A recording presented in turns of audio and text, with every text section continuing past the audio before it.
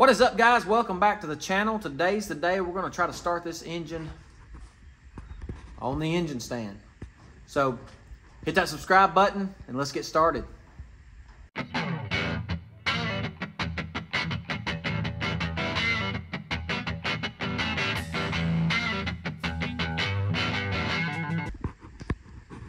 Okay guys, I'll give you the brief tour of what I've got done so far. I'm gonna put you on time lapse and do some other things, but I promise we'll just cut pieces out of each one. But starting with the front, I told you I ordered the um, three bolt throttle body adapter to the four bolt intake. I'll leave a link to the part number in the description below. But I've got it put on. I have got a um, plug I'm going to plug the PCV hole with. Also, I ordered an adapter to fit my LM7 harness to go to the new, the new style map sensor. Um, also, I have the adapters for the 30 pound injectors, the EV1s, to go to the Multec. They're already on here. So all that's ready to go. The coils are here.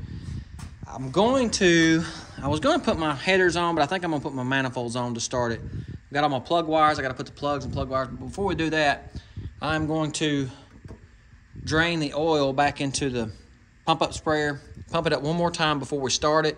Put my manifolds on. We've got to take out the oil pressure sending unit here.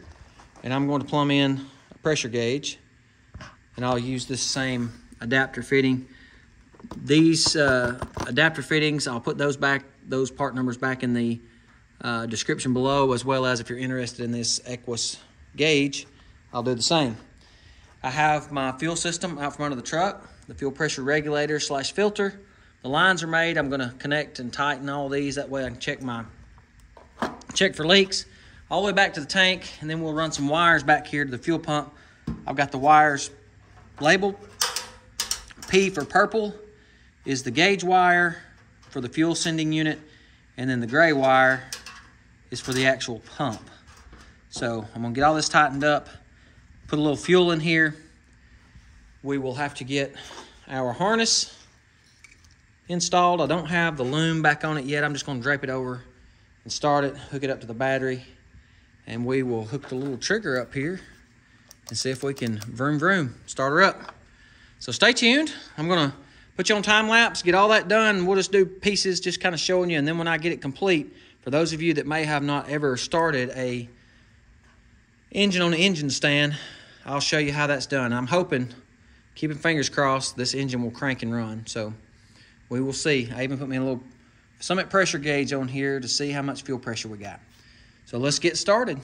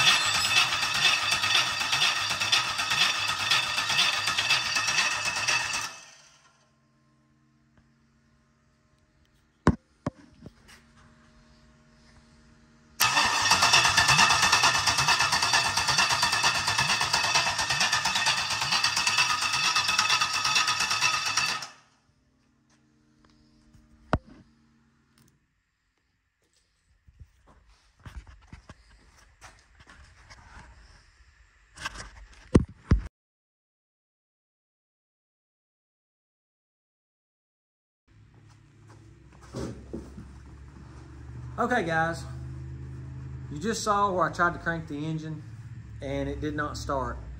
I had some of my friends ask me, uh, are you going to show your initial start on the video or are you going to crank it and then, and you know, let it run or whatever? But I'm always transparent with you guys. I want you to see and experience the same problems that I experienced. So you saw initially where the engine would not start. There were several problems that I found uh, right off the bat. The first one, if you guys, you guys may know more about LS engines and this may be all old news to you. But the first issue I found, I wasn't getting any spark. So I worked with it, worked with it, worked with it, couldn't figure out what was going on. I finally, I went to bed that night thinking, what could cause it not to spark? And I thought, the crankshaft sensor. Maybe I forgot to plug it up. So I started retracing my steps, plugged up the crankshaft sensor, bam, that's what it was. Well, then I initially started trying to crank the engine over and it would try to run and then it would backfire. So what was the second problem?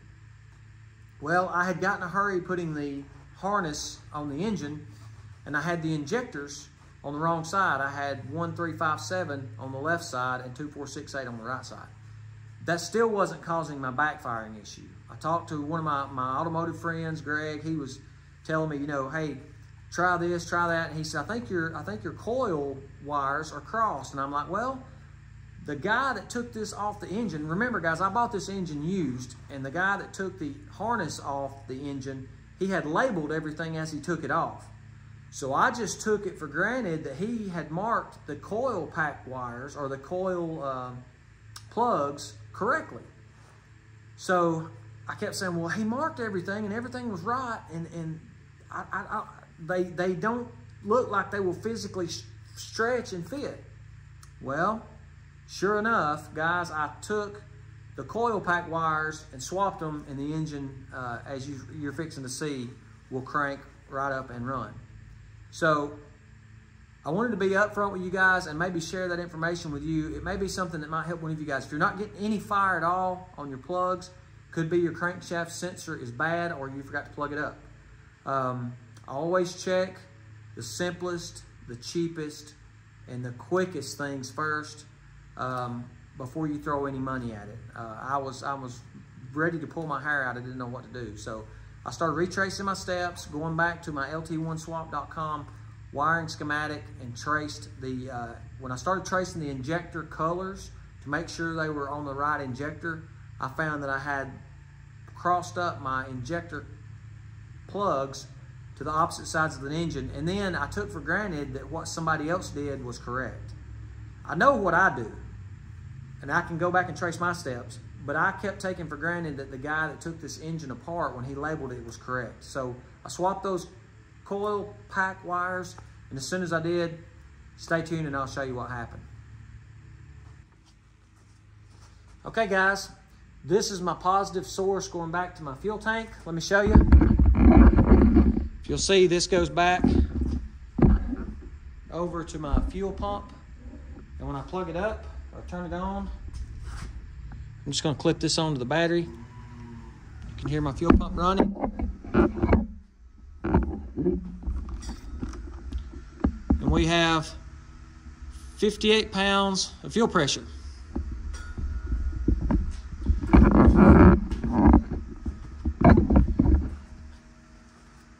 So with 58 pounds of fuel pressure and a push of the trigger,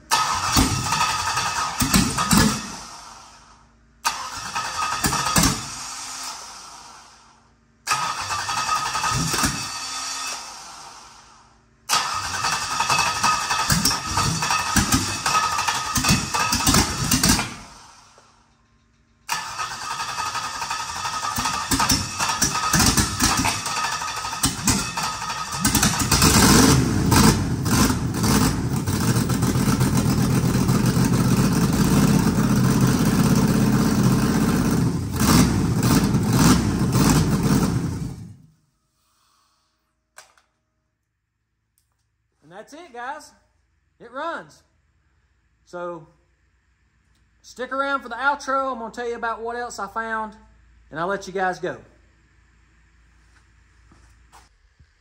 All right, that's going to wrap up the video, guys. It runs. It's live. Now I can start mating up my Turbo 400 transmission, start fitting everything in the truck, building cross members, getting everything sit in there, motor mounts, engine mounts, all that good stuff. So just from, I told you to stick around. I wanted to tell you some things. Tips and tricks. If you're not getting any fire, check your crankshaft sensor. Always check your injectors. I screwed up and put them on the wrong side. That was my fault. But what I trusted was the gentleman that took this out of the truck marked the left coil pack plug, the right coil pack. He marked the right coil pack plug, the left. It was acting just like a 350 Chevrolet V8 that was a half a round out of time. It would try to run, then it would backfire. Um, always check for yourself your plugs. What I told you to stick around for, I also figured out when, when I was spinning that engine over with my little trigger, um, it was filling the cylinder walls. It was purging gas in there.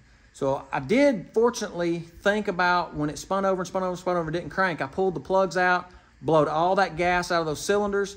It did cause my oil to smell a little bit more gassy than I would have liked. So I did change the oil and put fresh oil in it before I got it running. So remember, if it's not firing, it still could potentially be injecting gas into the fuel rail. So keep in mind, you know, that could be happening. As for the upcoming videos, I'm waiting on my disc brake kit from Trick Chassis to come in, as well as the center section. That should be here within the, uh, you know, two or three more weeks, I hope. Um, we're going to build a gauge panel for the truck, and then uh, some other things to start buttoning the truck up. We'll start putting engine mounts in, building transmission cross members, things like that. But as for now, it's alive, guys. It runs. I'm going to put my headers on it. I'm going to change out the oil pan. Maybe I'll show you some of that because you got to cut the valley pan or the windage tray in the bottom to get that uh, Holley 302-1 look-alike pan that I got to go in. I'll probably make some videos of that.